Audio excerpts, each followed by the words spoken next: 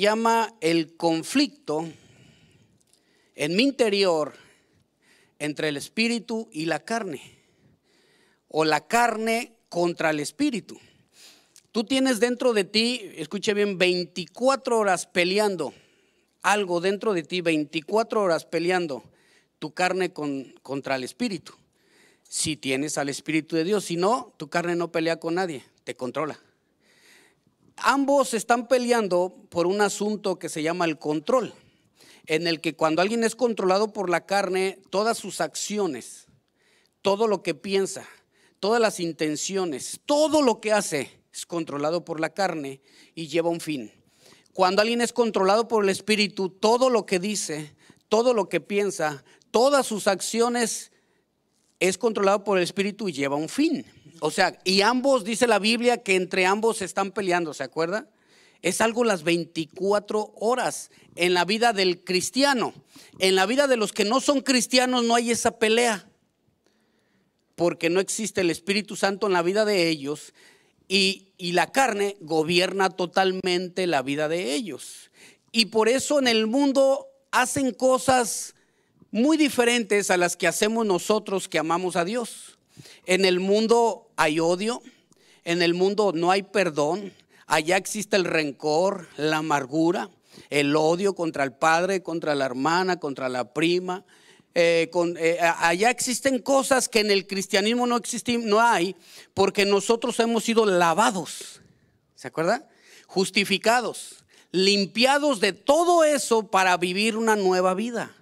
Pero entonces al vivir esa nueva vida entra el Espíritu Santo a la vida de cada uno de nosotros y comienza a gobernarnos. Pero ¿qué pasa? Mi pregunta es, ¿podrá un cristiano ser gobernado unos días en la carne y otros en el Espíritu?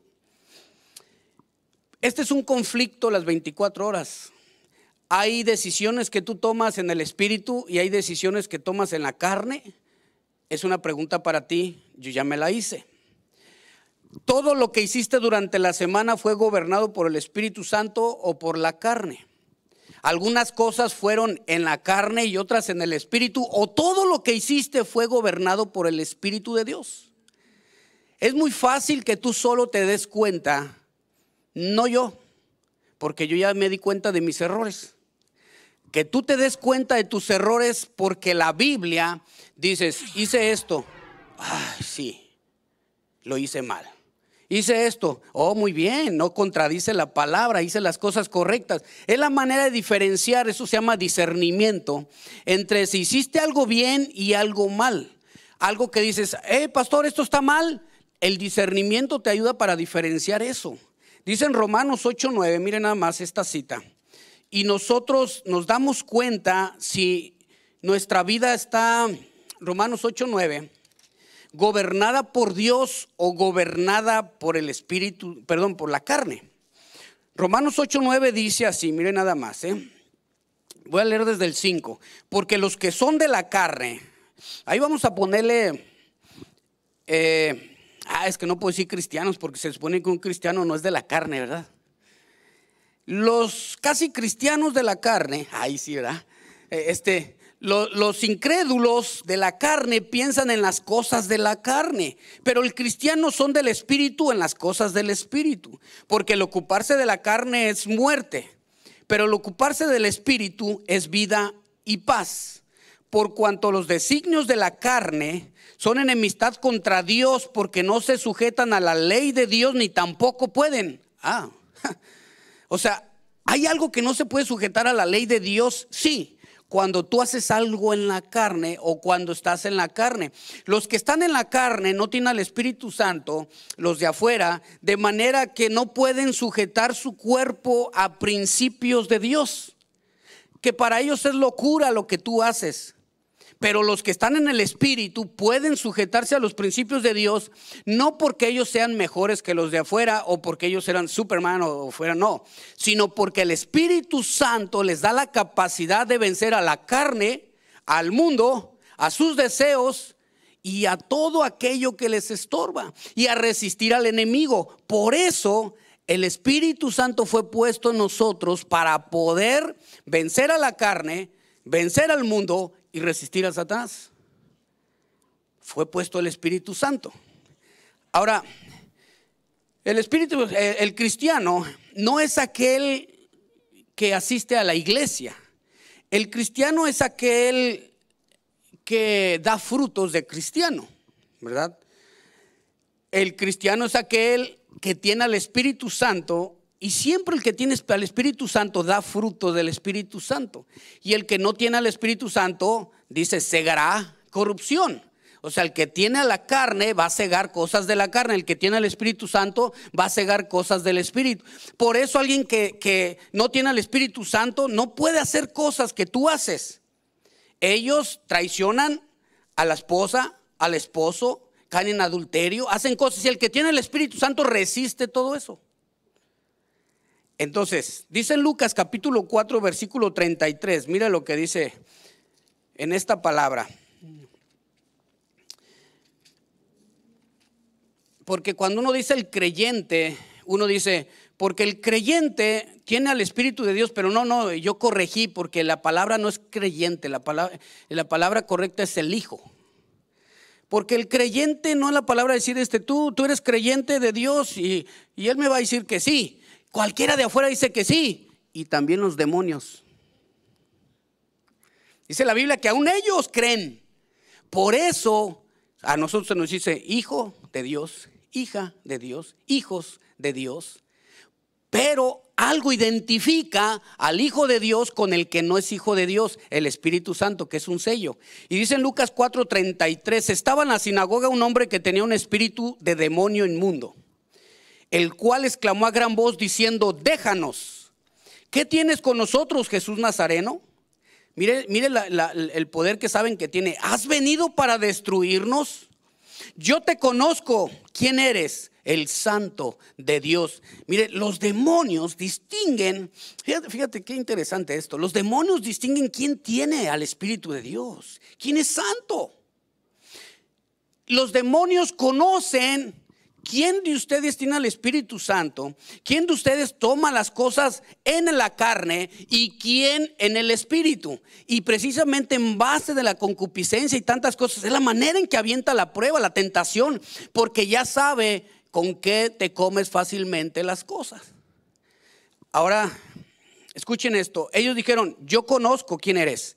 ¿Se acuerda también cuando iban eh, unos, unos hombres ambulantes sacando espíritus? Y dice que el, demonio voltea, el, mal espíritu voltea y dice, hey, a Jesús conozco y sé quién es Pablo. O sea, imagínate que digas, a ver, a ver, yo conozco quién es Jesús y sé quién es José Martel. Dice, pero que diga, ¿y aquellos quiénes son? O sea, ellos distinguen quién de ustedes tiene al Espíritu Santo y quién de ustedes es gobernado por el Espíritu Santo. E, ellos no necesitan el discernimiento. Lo que pasa es que ellos están en una atmósfera espiritual en la que perciben y ven quién está sujeto a la guía del Espíritu Santo y dicen, no, es que está sujeto, él es un hombre recto, un hombre íntegro, un hombre, un hombre que combina los caminos del Señor, un hombre que sabe perdonar, que sabe amar, que tiene... Y ellos distinguen todo eso. Y nosotros para distinguir eso, como es una atmósfera espiritual, necesitamos el discernimiento. Necesitamos aprender a discernir. Ahora ellos distinguieron quién era Jesús. ¿Por qué distinguieron? Mire, vamos a Lucas 4. Para que vea, el día de hoy quiero hablar la diferencia o la pelea o el conflicto interno que hay en nosotros, que es la carne contra el espíritu. ¿Cómo vencer a la carne? Porque escuche bien, muchos dicen que no es poderoso, es muy poderoso. La carne es muy poderosa, pero no más que el espíritu. Pero si la carne no es más poderosa que el espíritu, ¿por qué hay cristianos que hacen cosas en la carne? Ah, interesante pregunta. ¿Verdad? Porque Dios ya hizo la obra para que tú tengas al Espíritu Santo. Ahora te toca a ti tomar la decisión de que si haces algo en el Espíritu o algo en la carne de que si quieres cosechar o algo del espíritu o algo en la carne, te toca a ti la decisión. Pero ¿por qué me toca la decisión, pastor? Porque el Señor ya hizo la obra, ahora tú tienes que hacerlo para poder dar a ti el fruto de tu camino y poder juzgar tus obras y poder juzgar lo que tú hiciste. Porque si el Señor hace todo por ti, no vas a valorar el sacrificio que Él hizo. Si Él hace todo, dices, yo, nunca voy a pecar porque Él me gobierna, entonces eres un títere. Se dice, no, tú vas a decidir. Miren, en, en Lucas 4.1 dice, Jesús, Lucas 4.1, ¿sí les había hecho la cita? ¿Sí? Dice, Jesús, ¿cómo dice? Lleno del Espíritu Santo. Me encanta esto, porque se volvió del Jordán y lo dice, fue llevado nuevamente por el Espíritu al desierto. Escuchen bien, una persona llena del Espíritu Santo, aquí la palabra lleno, plerón, el original, está en presente imperativo, que significa lo, lo siguiente, a esto se refiere, completamente saturado y gobernado. Jesús estaba saturado, gobernado por el Espíritu Santo. Y en una ocasión ya les expliqué cómo pudo ser gobernado siendo él Dios y parte de la Trinidad, cómo está el asunto, se los expliqué. Eh, pero se los voy a decir en, en 30 segundos, porque en el área humana tenía que ser lleno del Espíritu Santo, dice creo que Hechos 10:38, donde dice que fue lleno del Espíritu de Dios para andar haciendo bienes. Ahí dice en Hechos 10:38, si no me equivoco. Y, y él fue lleno en esa área para ser gobernado. Imagínense, él decía, hey, pasemos al otro lado. Él, lo que él decía era gobernado por Dios. Lo que él pensaba era gobernado por Dios. Tú tienes un conflicto las 24 horas y tú depende de ti qué es lo que vas a hacer hacer algo que lastime, hacer algo en la carne, hacer algo en el que gobierne la carne o hacer algo que edifique, algo que dé vida, algo que sea, traiga fruto del Espíritu, tú decides. Tú dices, ¿y por qué yo decido? ¿Qué no dice un versículo? Que no apaguéis al Espíritu. No que se te salga sino que es como aquella flamita que va bajando, va bajando, va bajando, va bajando. no, es, no extingáis en el original. y ahí la tienes la flamita y la carne gobernando tu vida y llamándote cristiano haces cosas en la carne, porque la flama está ahí muy bajita. Pero entonces, ¿cómo hago crecer esa, a esa flama? Comienzas a poner el aceitito ahí, comienzas a alimentar la flama con la palabra de Dios, comienzas a, a darle los apetitos del Señor, que es la sabiduría de Cristo, la inteligencia del Señor, todo, y empieza la flama a encender y a quemar la carne que las 24 horas quiere tomar el control. Las 24 horas quiere tomar el control de tu vida, de mi vida. Son 24 horas. Por eso las 24 horas estás pensando qué hacer y te dice la carne, no, dale duro. Y dice el Espíritu, no, perdona. Dice la carne, no, no, no, es tu oportunidad. El Espíritu dice, bendecid, orar. Porque el Espíritu nunca va a contradecir lo que él mismo inspiró. Entonces es donde tú distingues que si lo que tú hiciste fue en la carne o fue en el Espíritu. Pero escuchen, eso se vive en todo el mundo. Los cristianos saben que tienen una pelea interna las 24 horas en el que va a ganar el que tú decidas. Pero no entiendo por qué va a ganar el que yo decida. Pues entonces, ¿por qué haces cosas que no están correctas? Tú lo decidiste o también te agarró el Señor y te dijo, haz esto. Y tú dices, ah, lo hice, Señor, para tu gloria. No, eso sí lo hacen los religiosos. Decía que conseguían cartas para dar muerte a los cristianos y pensaban que lo hacían para Dios. Señor, te quiero dar la gloria, mata a los cristianos. Y los mataban y decían, gloria a Dios que maté a dos más. Y el Señor dice, no, no, no, Pablo, Saulo, ¿qué te pasa? Eso que estás haciendo es para... Señor, pero tengo cartas de los religiosos. Dice, sí, sí, pero es que el religioso es aquel que no está nutrido, solo está inflado. El religioso es aquel que dice, pero no hace.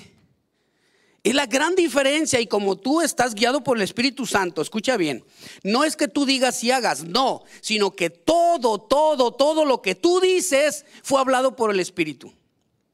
Todo lo que tú haces fue hecho por el Espíritu, porque Él tomó el gobierno y Él te dice, eh, dice, decía Pablo, voy a ir allá. Dice, y el Espíritu no me lo permitió. Decía David, el eh, Señor, iré para allá. Y el Señor dijo, no, quédate. Ah, es que quiero ir a la, a la pelea. Quédate, David. Y otro día, Señor, iré hoy. No, David, quédate. Hasta que le dice, ya, preparé todo, ve. O sea, el Espíritu eh, el Señor es el que prepara las cosas cuando tú estás en el Espíritu. Y es por eso que, el, imagínate, tú estás caminando las 24, fíjate, 24 horas en el día en el Espíritu. Te dice, para, te paras. Y luego dice, Ananías, dice Ananías, eh, dime Señor, en tal casa, en la izquierda, vive ahí en la casa de un hombre llamado Judas, está ahí un hombre que se llama Saulo de Tarso. Ve y ora por él. Y él dice, porque tiene que estar conectado, lleno del Espíritu Santo. Y él dice, no, pues yo cómo voy a ir, ¿por qué no mandas al brodito? Él es bueno para eso.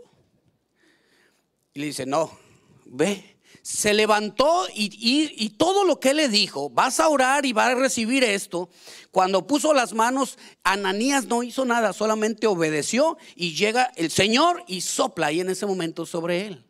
Ahora, cuando tú estás lleno del Espíritu Santo, él tiene un gobierno tal en tu vida, pero para eso necesitas nacer de nuevo.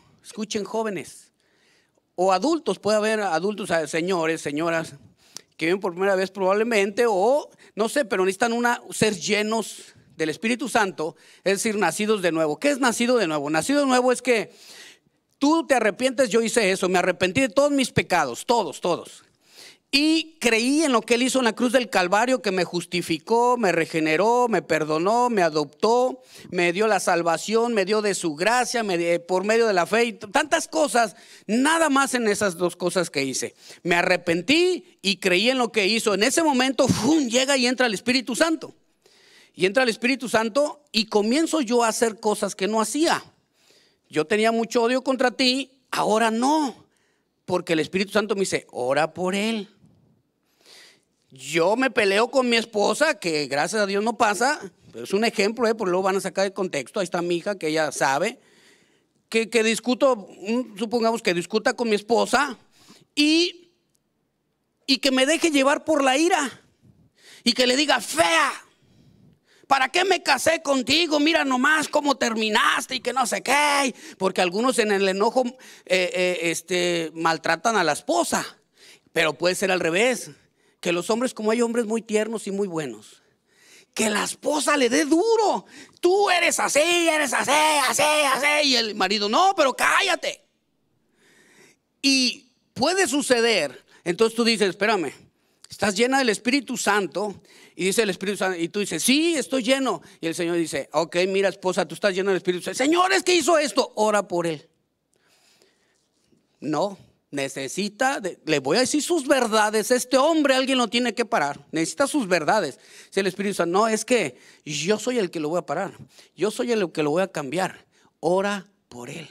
Y alguna les dice, tú cállate, y dice, ¿cómo? Sí, es que dice en 1 Juan 3 que te lo ganes por tu conducta, porque tú no eres una perita en dulce. Gánatelo por tu conducta. Y tú dices, bueno, y empieza a orar, Señor, te pido por mi viejo, maltratadón, pero lo amo. Señor, ayúdalo y dame más amor, quiero perdonarlo y todo. Y, empiezas a hacer lo que el Espíritu Santo te dice. Por eso todo lo que haces cuando estás controlado por el Espíritu Santo le pertenece a Él. Todo lo que dices cuando estás controlado por el Espíritu Santo le pertenece a Él. Y es muy fácil diferenciar cuando algo que tú dijiste le pertenece a Él y cuando algo no. Porque dice la Biblia que el Espíritu es vida. Si lo que tú dijiste sobre tu esposa produjo en ella, ah, qué preciosa te ves, mira qué bonitos zapatos traes, y ella dice, oh, wow. ¿Y qué más? Porque siempre le hacen así, ¿qué más? A ver qué aretes tenía hace, hace un mes. Y tú dices, ah, hace un mes, y uno tiene que estar como radiografía así, ¿no? Y aprenderse, ay, ahora trae este vestido y que no sé qué. Te preguntan, ¿no? Y bueno, lo bueno es que a mí se me queda grabado. A veces me dice, oye, ¿qué vestido traía la semana pasada este y este y este? Qué bueno. Hay veces que hasta lo noto. Por si me pregunta, y le digo, ah, espérame que voy al baño. Ah, traías esto. Ay, ¿cómo te acuerdas? Pero fíjense, cuando usted es nacido de nuevo, tratas de agradar a tu esposo y tu esposa trata de agradarte a ti. No, al revés, tu esposo trata de agradarte y tu esposa trata de agradarte porque ambos están llenos del Espíritu Santo y todo lo que tú le digas a tu esposa es, son palabras que salieron del Espíritu, no de la carne. Y todo lo que tú haces a tu esposa, a tu familia, son cosas, actos hechos por el Espíritu Santo que Él te dio la instrucción. Cuando tú aprendes a caminar así, pero, pero va a haber una pelea, ¿eh? porque la carne te va a decir, ¿y por qué le vas a pedir perdón? Tú siempre le pides perdón.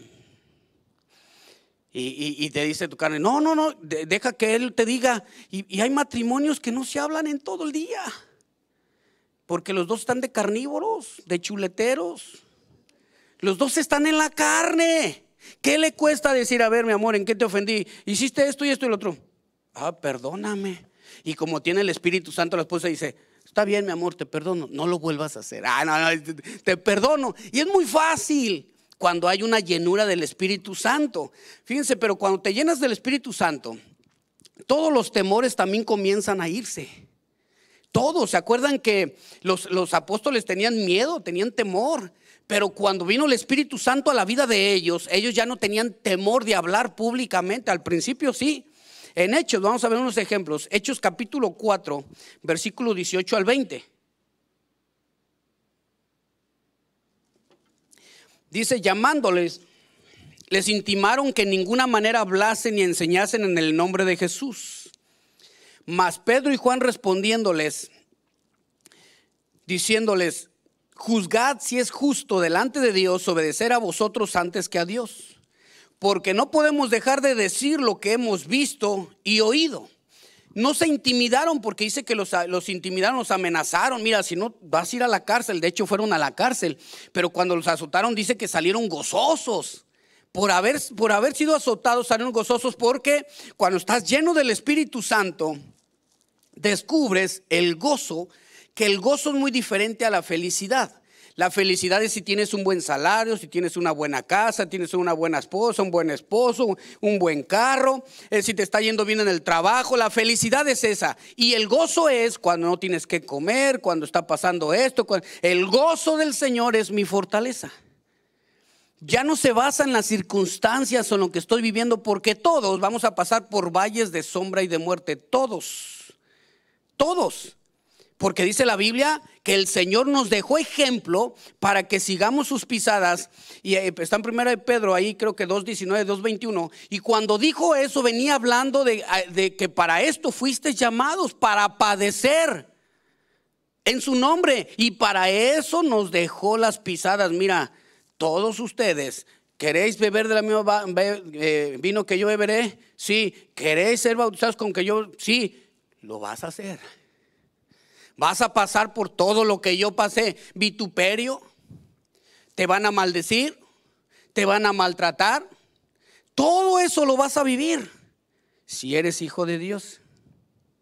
La vida cristiana no te ofrece comodidad. La vida cristiana te ofrece seguir a Dios y Él ser tu Padre y Él se encarga de que vivas una vida con Él eterna. No te ofrece hacerte rico, pero sí te ofrece que te va a proveer cuando Él sepa que lo necesitas. La vida cristiana no ofrece lo que a veces presentamos nosotros. No, la vida cristiana ofrece que nosotros sigamos sus pisadas y Él se encargará de lo demás. Ahora, ellos no se intimidaron cuando le... Ah, está ya, gracias.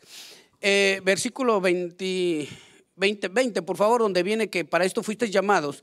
Precisamente porque nosotros, ah, pues ahí decía el 21, perdón, eh, fuimos llamados para eso, para estar ahí en sus pisadas, fuimos para padecer. 22 y 23 viene hablando todo ese contexto de que nosotros íbamos a padecer por su nombre y para eso nos llamó. Tú dices, ¿que no me llamó para ser santo? Sí, pero santo y lleno, del Espíritu Santo vas a soportar todo eso. Cristo padeció por nosotros, dejándonos ejemplo para que sigáis sus pisadas. Y nosotros vamos a padecer también para madurar.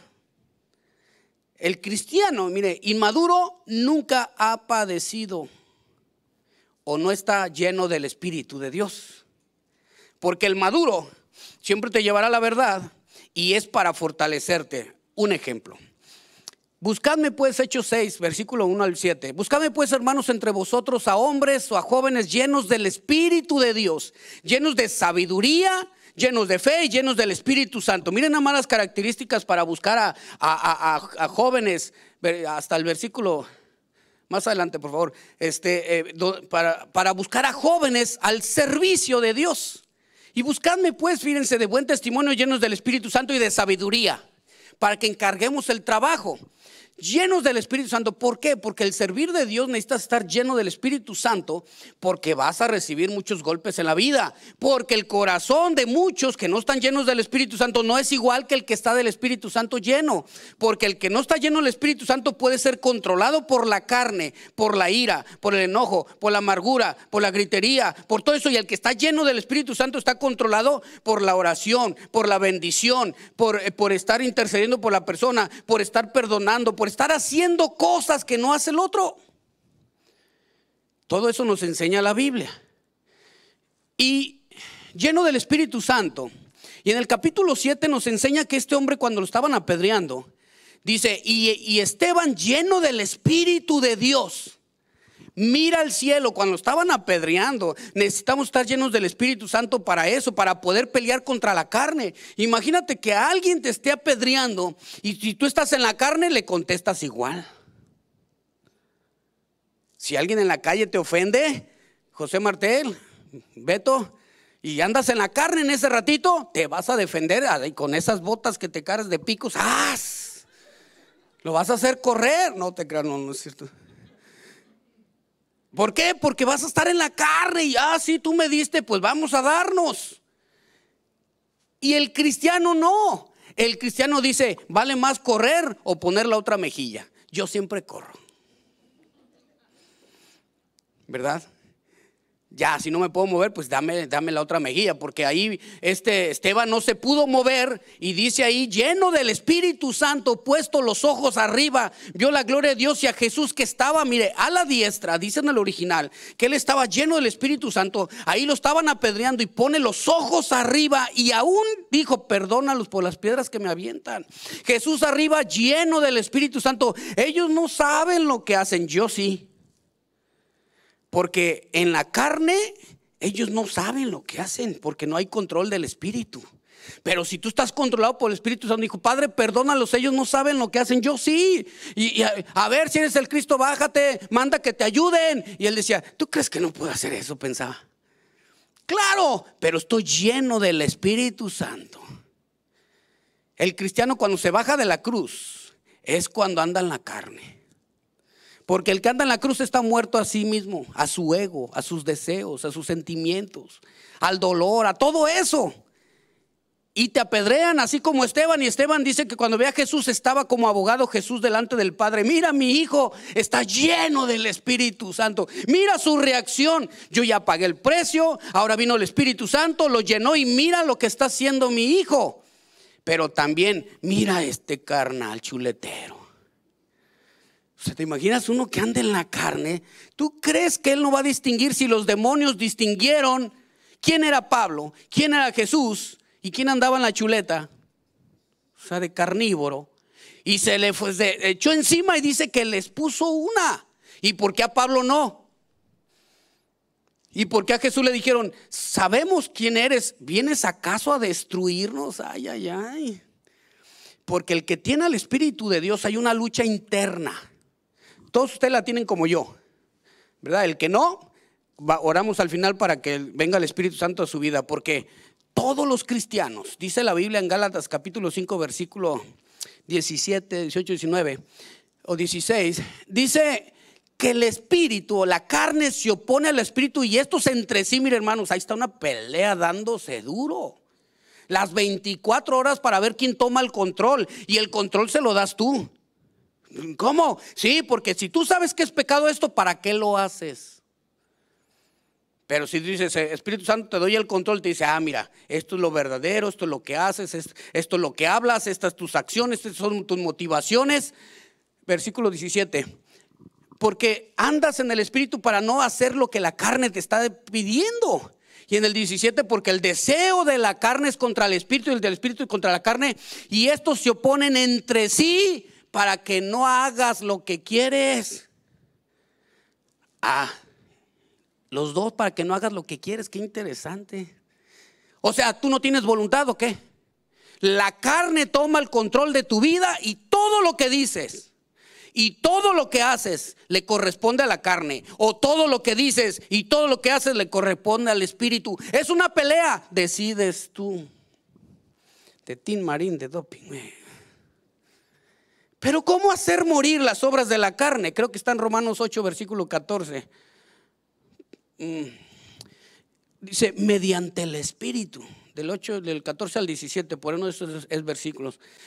De esa manera haces morir las obras de la carne en tu vida. Lo que hay, lo que te está perturbando, lo que no te permite que decidir. Hermanos, eh, eh, necesitamos aprender a decidir. Cuando estás lleno del Espíritu Santo, escúcheme jóvenes, los que son tímidos. Una persona llena del Espíritu Santo, con un micrófono, es una bomba. Porque todo lo que tú dices le corresponde a Él. Todo lo que tú haces lo hizo Él. Y si estás lleno del Espíritu Santo, por ejemplo, esta jovencita ya 15 años, ¿sí, verdad? Ah, mira, 15 años y el Señor te toma, toma todo de ti. Y todo lo que digas, el Espíritu Santo dice, así dice el Señor. Y tus papás dicen, wow, mi hija, ¿cómo está hablando tan bonito? Ah, ah. Ella se dejó utilizar. Porque después puedes decir si no permite y se hace algo en la carne, tú dices, ay, mi hija, mira qué carnal. También ella decidió hacer algo en el espíritu, pero todos los jóvenes de aquí tenemos que orar para que sean controlados por el Espíritu de Dios. Viene un tiempo, una generación, hermanos, muchas gracias, en el que eh, eh, si no hacemos morir las obras de la carne, solamente es mediante el Espíritu, va a haber una generación de jóvenes terrible. Vienen en el que los jóvenes se van a despedazar, los jóvenes van a estar viviendo vidas terribles, horribles, y porque eso es una lucha continua. Ahora, si no tiene al Espíritu Santo, no hay lucha viven sujetos a la carne. Ya no hay lucha. Pero el Espíritu Santo los convencerá de pecado y si ellos se convierten al Señor, entra el Espíritu Santo y comienza desde el inicio la lucha. Empiezan los parientes, ah, ya, no quieres tomar, ya no quieres hacer, ya no quieres hacer las fiestas con nosotros. Ah, sí, sí, ya te sientes muy santito. Comenzó la lucha, comenzó el conflicto.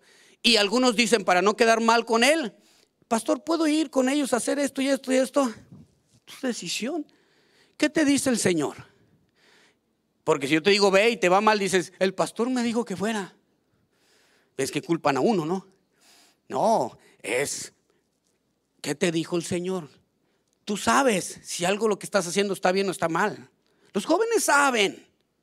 Ellos saben si lo que están haciendo está bien o está mal, como tú sabes si lo que dijiste o lo que haces o tus intenciones están buenas o están mal. Tú lo sabes y Dios y el que tiene el Espíritu Santo también porque discierne las intenciones del corazón. Hebreos 4:12, porque la palabra de Dios penetra hasta partir del alma, el espíritu, el tuétano y todas las cosas, dice, y discierne los pensamientos y las intenciones del corazón.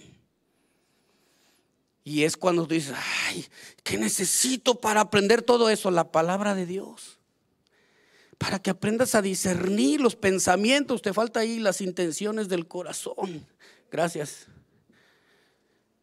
y aprendes ahí a discernir con la palabra. Y es cuando vienen, pero miren, los apóstoles, eh, muchos de ellos eran iletrados. Es decir, no tuvieron escuela, no tuvieron tiempo de preparación como algunos de ustedes. Eh, eh, puede pasar así un caso en el que no tuvieron la oportunidad por diversas cosas. Pero el Señor les capacitó para leer y para otras cosas. Y viene el Espíritu Santo y viene sobre los apóstoles. Y los apóstoles al principio tenían miedo. Miren Juan capítulo 20. Cuando, cuando los apóstoles tenían miedo, y es lo que puede suceder en ustedes para predicar, ¿quién de ustedes tiene miedo para predicar? Honestamente, ¿quién? ¿Ustedes? Ok. Ustedes son predicadores ya, ¿no? Pero tienen miedo, ¿eh?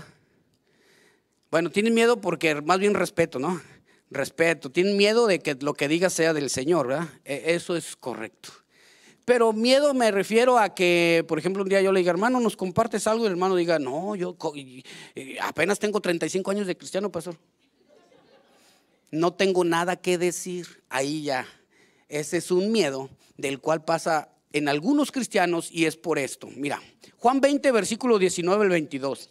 Cuando llegó la noche de aquel mismo día, el primero de la semana, estando las puertas cerradas, el lugar donde los discípulos estaban reunidos, mire lo que dice, por miedo, ahí eso me impacta, dice, por miedo a los judíos. O sea, ellos tenían miedo y luego viene Jesús y se pone en medio, se pone de pie en medio y les dice, paz a vosotros la paz del Señor esté contigo y la gente toma de broma esto, la paz del Señor contigo, la paz del Señor. La, la, palabra paz es en el griego ireneo, que significa el que une unas partes que estaban separadas. Es decir, que los pensamientos de él estaban separados del pensamiento de Dios. Se les había olvidado que les dijo, nunca os dejaré huérfanos. Nunca estarán solos, estaré con vosotros hasta el fin de los días. Su pensamiento estaba separado a lo que Dios había dicho, a lo que había dicho, estaba separado. Entonces vino y le dijo, pasa a vosotros, únanse mentalmente conmigo, espiritualmente conmigo. Eso significa porque dice Jesús es nuestra paz y vino a traer paz, paz entre el hombre y entre Dios para ser el intermediario, 1 Timoteo 2.5, entre Dios y el hombre. De manera que nos pone así, pero Él es el que está en medio agarrando las partes y por eso dice, Padre, yo pagué el precio, yo lo justifiqué, yo le di la redención, comenzó la regeneración y, ahí, ahí está todo, Señor. Ya tiene la salvación, la gracia, la verdad, fue perdonado, tiene la fe y Él es el que unió las dos partes que estaban sueltas. Vino a traer paz unión. Pasa a vosotros. Esos pensamientos que tienen están separados de lo que les dije, que estaré con vosotros hasta el fin de los tiempos. Pero ¿por qué tenían miedo? Dice después en el versículo 20. Y cuando hubo dicho esto, les mostró las manos y el costado. Y los discípulos se regocijaron viendo al Señor. Entonces Jesús les dijo otra vez, pasa a vosotros. O sea, ya que los vio todos contentos, pasa a vosotros, o sea, únanse. Y le dice, pasa a vosotros. Como me envió el Padre, miren nada más lo que dice, así también yo os envío. Y habiendo dicho esto, sopló y les dijo, recibid el Espíritu Santo. Ay, ay, ay. El Señor no te va a mandar al mundo sin el Espíritu Santo. No puedes tú servir a Dios si no estás lleno del Espíritu Santo. Porque el servir a Dios es de sacrificio. Mueres a tu ego, a tus deseos, a tus planes, a tus propósitos, a todo lo que tú piensas en la vida. El recibir a Dios es que recibes el Espíritu Santo y dice, reciban el Espíritu Santo. Y en ese momento los apóstoles reciben el Espíritu Santo. ¿Qué significa? Iban a ser ahora gobernados por el Espíritu Santo para poder soportar, no tenerle temor a los judíos y cuando salieran los judíos lo iban a ver. El único que estaba fuera sin temor era Tomás el Dídimo. Él no tenía miedo, era incrédulo pero no miedoso. Era el único que andaba entre afuera nada más escuchando Tomás y la gente habla mal de él.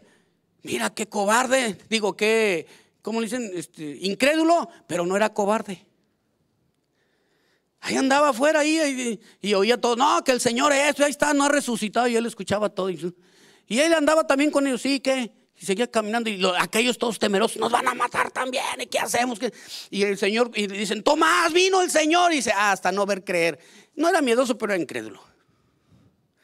Y algunos son incrédulos y miedosos. Y viene y les da el Espíritu Santo y salen y es cuando les intimaron para que no hablaran en el nombre del Señor. Y dijo, no, no, no, no, no vamos a parar de, hacer lo que tenemos que hacer, eh, de, lo que hemos visto y oído, vamos a hacerlo.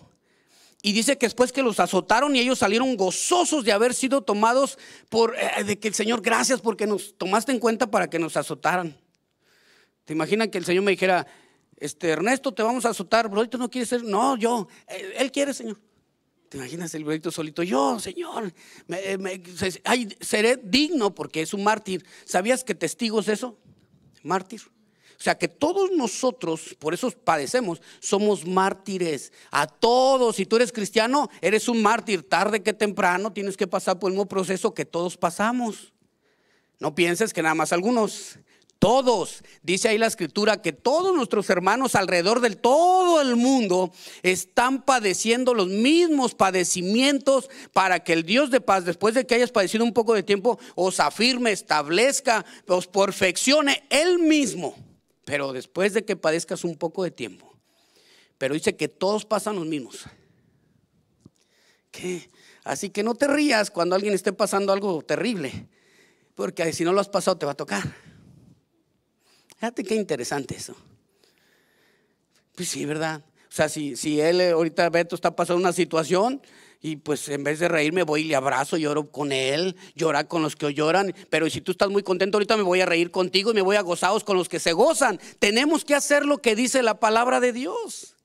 Entonces dice que reciban el Espíritu Santo, porque ellos eran inseguros, tenían temor, tenían tantas cosas como puede ser que algunos jóvenes aquí sean inseguros. Y no, Dios, yo estoy con que Dios quiere usar a todos los jóvenes de la iglesia. Quiere levantar a una juventud mejor a como éramos nosotros. Y nos vamos a proponer a orar por ellos para que sean llenos del Espíritu de Dios. Imagínate jóvenes de 12, 15 años llenos del Espíritu de Dios, controlados por el Espíritu de Dios. Todo lo que hablen va a ser controlado por Él y bendiciendo en la escuela, llevándolos a los pies de Cristo, en el trabajo, cuando estén en el college, donde estén dirigidos por el Espíritu de Dios. Qué increíble sería la ciudad, pero también nosotros porque nuestros jóvenes llegarían llenos del Espíritu Santo. Y te imaginas con unos padres carnales. Ah, ya vienes de la iglesia. Ay, piensas que eres muy santo, ¿o ¿qué? Papá, no vas a ir ahí. No, ¿a, qué vas? Es más, no vas, te sometes. Y el joven lleno del Espíritu Santo dice, está bien, papá, me quedo. Y el que no está lleno del Espíritu Santo dice, no me voy porque me voy. A ver, párame, voy a servir a mi Dios. Y el Espíritu Santo dice, no, quédate quieto, deja que yo trabaje con él. Fíjate qué, increíble sería que Dios primero transformara la vida de los jóvenes antes que la de sus papás. Pero puede suceder. Dice que el niño Jesús se sujetaba en Lucas capítulo 2, versículo 51, 50, 51. Dice que el niño Jesús se sujetaba a sus padres. Se sujetaba a lo que ellos decían, a lo que, sabiendo que ellos se equivocaban y él era perfecto. Qué increíble eso, qué belleza. Pero también crecía en estatura, en gracia para con Dios y con los hombres, pero estaba creciendo en sabiduría también. O sea, cada día. Ahora, viene el Espíritu Santo en Hechos capítulo 2, versículo del 1 al 11. Voy rápido. allá el que está atrás puede, para que lo vayan viendo ustedes. Dice que viene eh, el Espíritu Santo en Pentecostés y estaban todos unánimes juntos y que de repente vino del cielo como un viento recio que soplaba, fue una azota todo. Dice que la casa se llena donde estaban todos sentados, y me gusta el versículo 4, dice, y fueron todos llenos del Espíritu Santo. Todos, todos llenos. Este mismo verbo, llenos, habla completamente, gobernados totalmente, pero todos, que aquí todos somos llenos del Espíritu Santo. Imagínate que, el, que tú, yo, los de cámaras, los que están en el sonido, los que están de Ujieres, todos, todos, todos, todos los maestros, los, los niños, los jóvenes, todos llenos del Espíritu Santo. Todos gobernados del Espíritu Santo. No habría problemas. No habría gritos. No habría amenazas porque estás lleno del Espíritu Santo. Y los demás distinguirían, no, ¿qué, qué? Y todos los demás, hermano, desechar la gritería de entre vosotros. Inmediatamente pararían todos. ¿Por qué? Porque en la llenura del Espíritu Santo hay un gobierno. Pero como hay una pelea, tu carne dice, no, no te dejes. ¿Por qué te callas? No seas tonto. El que calla, otorga. Eso dice la carne. Y el Espíritu Santo dice, a palabras necias, oídos sordos ora por él, bendícele, no respondas. Jesús cuando le maldecían, no abría su boca. El Espíritu Santo es diferente. Y tu carne siempre será de rebelión y de contienda y de pelea. Y el Espíritu Santo hace las cosas diferente. Fíjense, ellos eh, eh, fueron llenos del Espíritu Santo y comenzaron a hablar diversas lenguas. Lenguas significan el original idiomas. De manera que todos los caldeos y todos los que pasan por ahí, ¿por qué están hablando nuestro idioma? Y Pedro se levanta ahí y dice, varones israelitas, vosotros crucificasteis a Jesús y comienza ese hombre, miren, cuando comenzó a hablar, todos decían, oye, ¿qué no es un pescador? Les voy a explicar rápidamente qué significaba pescador. No es una mala profesión. Algunos nos gusta pescar, ¿verdad? aunque nos pescamos una gripa, lo que sea, pero ahí estamos. Un pescador era alguien que no fue escogido por un maestro y que tomó el oficio de su casa. Llegaba un maestro, y eso pasó con ellos, y, Gamaliel ve a, a Saulo y dice, sígueme, este tiene madera, te voy a preparar, ti también. Empieza, a ti también, a ti también. Síganme. Y empieza a prepararlos. Y había dos escuelas en las cuales preparaban de una manera increíble en el judaísmo, unas escuelas en el que la ley la representaban e-, ellos dos, pero Gamaliel, que era un hombre tan estudioso, un hombre de los mejores, comienza a preparar a Saulo que este hombre crece como fariseo de fariseos, pero con una doctrina, una escuela, y él decía, yo sé todo. Y el Señor dice, mira, no sabes nada. Por eso él dijo, todo lo di por estiércol, dice en el original, por basura, que eso significa. O sea, lo hizo a un lado. Pero a él los cogieron y el Señor Jesús ve y dice, Pedro, sígueme, sígueme, sígueme. Y escoge a doce. Pero el Señor, fíjense, dice, mejor volteo para allá. Tú sígueme. Y tu Señor a él, sí. Los doce, yo los escogí. Y uno de vosotros es el diablo. Así dice la Biblia, ¿eh? Si no la ha leído, no piense que lo estoy inventando. Dice que él dijo, yo a los dos escogí y uno de vosotros. Y te imaginas, volteaban todos y, ¿quién será? Nunca piensan en ellos, ¿verdad? Siempre piensan los demás. No, yo creo que sí. Están pensando los demás. Y las obras son los que sale y se ve quién está lleno, gobernado del Espíritu Santo y quién está gobernado por la carne. Es bien fácil. Como tú te miras a ti mismo, dices, ay, este día, pues, su Señor, enséñame a traer sabiduría de hoy. Llegas y te sientas en la noche y dices, Señor, tú tomaste el gobierno del día de hoy. A ver, me levanté, hice esto, discutí. No, eso no, no, eso no lo hice bien. Hice esto, ah, esto sí. Tú solo sabes cuándo el Espíritu Santo tomó el control y cuándo la carne. Pero qué triste sería que todo un día lo tomó la carne, que toda una semana lo tomó la carne, comenzó a extinguirse el Espíritu. Y eso está pesado. Y ellos comienzan a hablar y les dice en Hechos 2 del 22 al 24, varones israelitas, comienza a decirles, eh, oíd estas palabras, Jesús Nazareno, vosotros aprobado por Dios, fue aprobado por Dios, usted lo llevaron, lo crucificaron, versículo 23, a este entregado por el determinado conocimiento, ahí está el preconocimiento de Dios, el consejo de Dios, yo lo había hecho 23, ya lo había dicho, vosotros lo prendieron, lo mataron, ustedes hicieron esto, pero miren cómo estaba hablando él lleno ahora del Espíritu Santo. No tenía temor ya. Y ellos se lo habían prohibido y él ya no tenía temor. Porque una persona, de hecho después dijeron, ¿qué no es eh, este, este pescador? ¿Y letrado? Mira ahora cómo nos habla y Pablo decía, yo no vengo con palabras llenas de sabiduría y eso para que la, porque así hay gente que, para que me entiendan y comienzan a hablar palabras que en el uso natural muchos no las utilizan, que no es incorrecto, pero pues, algunos lo hacen para llamar la atención y decir yo soy estudiado, ¿verdad? Algunos otros no, porque si están todos en un ambiente en el que van a hablar de, medicina, pues son conceptos y palabras que tú y yo no conocemos. Uno que otro doctor o enfermero sí lo va a entender. Pero los otros no, ¿a qué vine? ¿Qué es eso? Mira esa palabra tan grande, oto, no sé qué. Y larguísimo para algunos. Y para eso algo natural. Y Pablo decía, yo vengo, yo no vengo, yo vengo con el poder de Dios, no con palabras de sabiduría eh, terrenal, sino con el poder de Dios. Esa es la manera. Y miren, eh, eh, en Romanos 8, versículos 5 al 9. Es la manera en que nosotros cuando somos llenos del Espíritu Santo,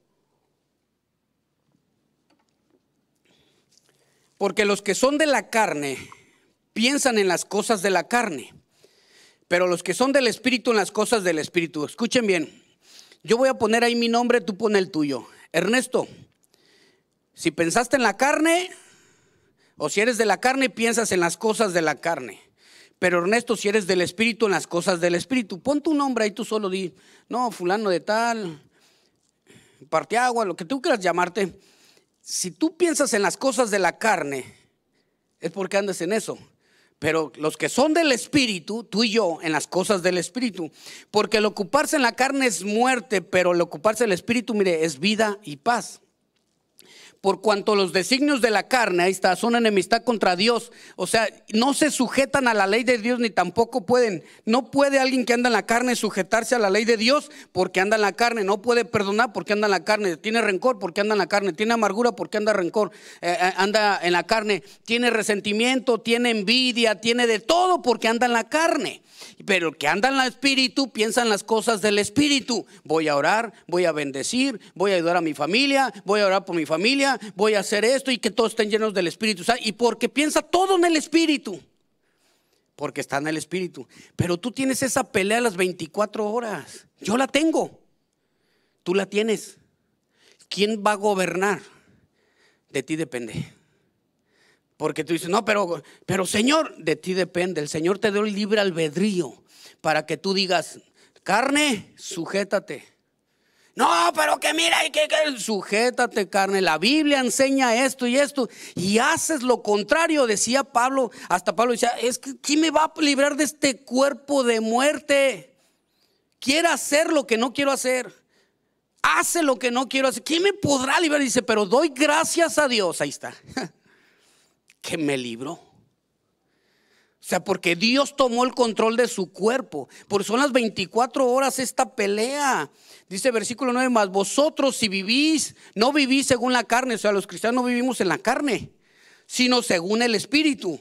Y aclara, si es que el Espíritu de Dios mora en vosotros, si es que. Porque es imposible que alguien que no tenga el Espíritu de Dios se sujete a las cosas de Dios. Es imposible. Es donde tú puedes decir, ¿será cristiano?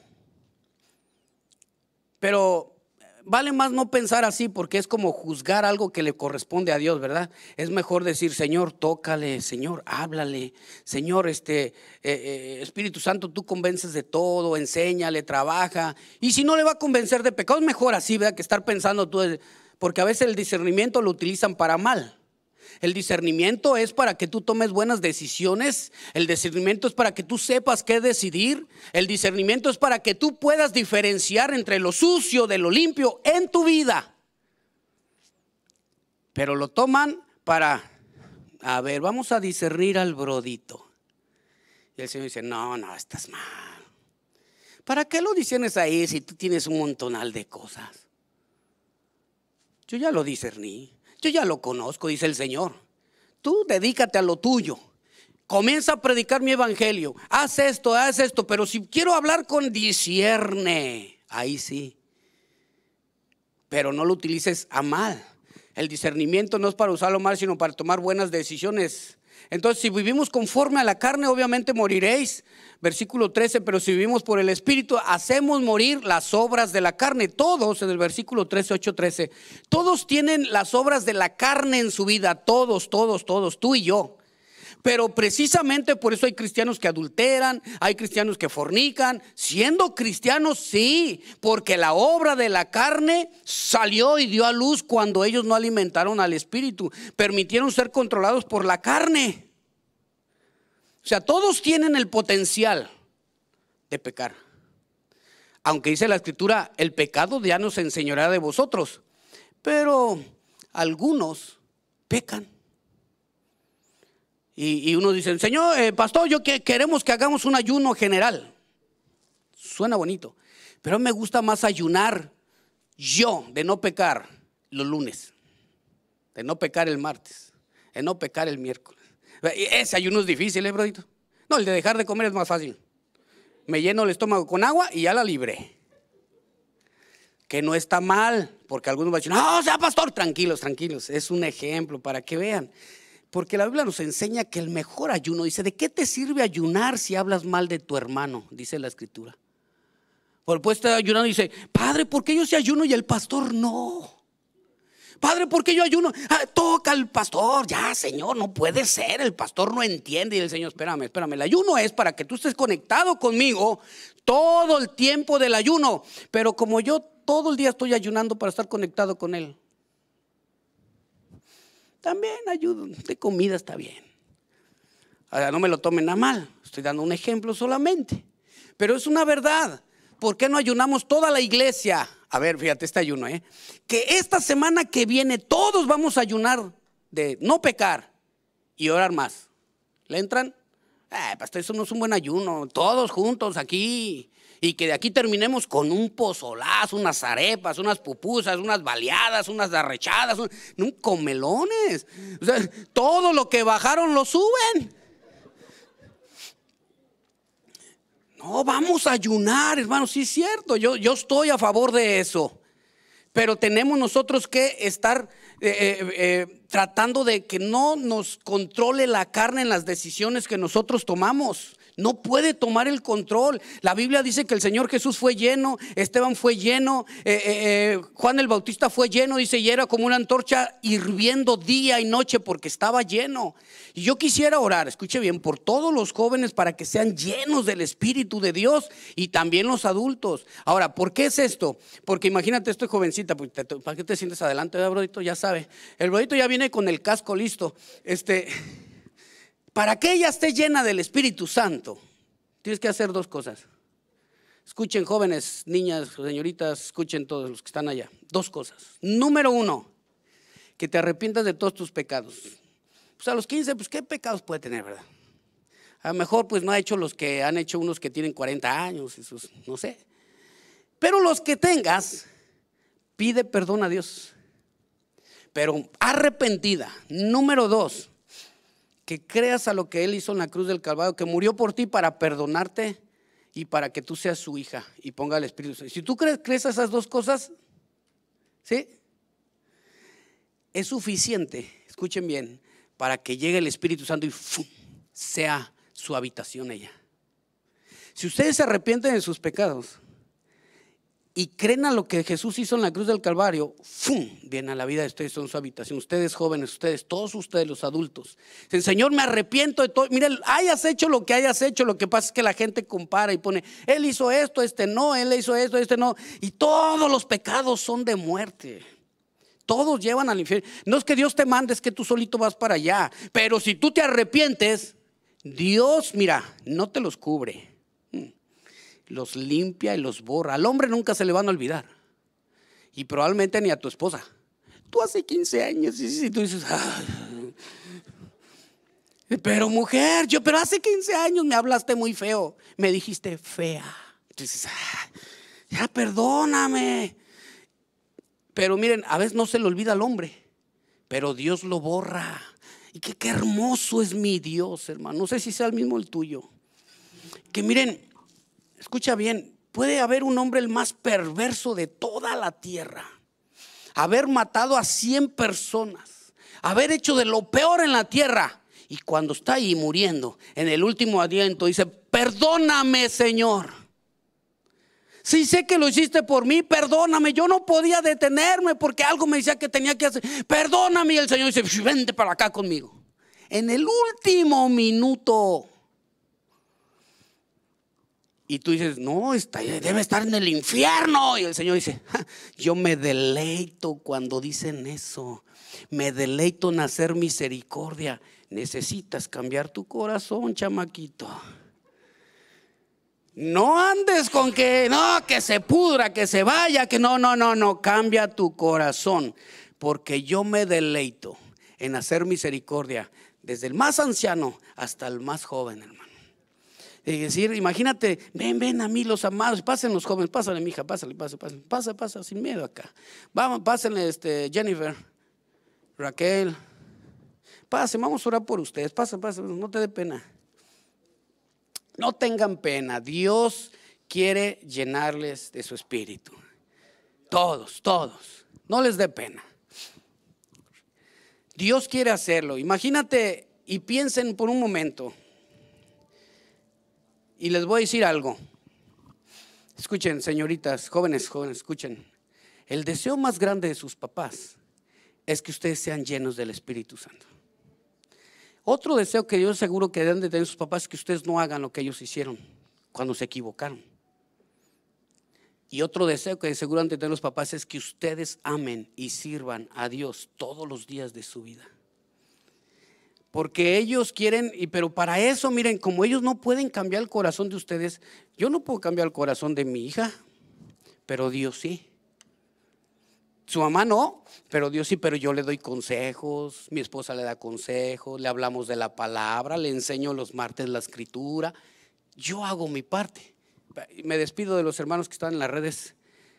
Este, pero Dios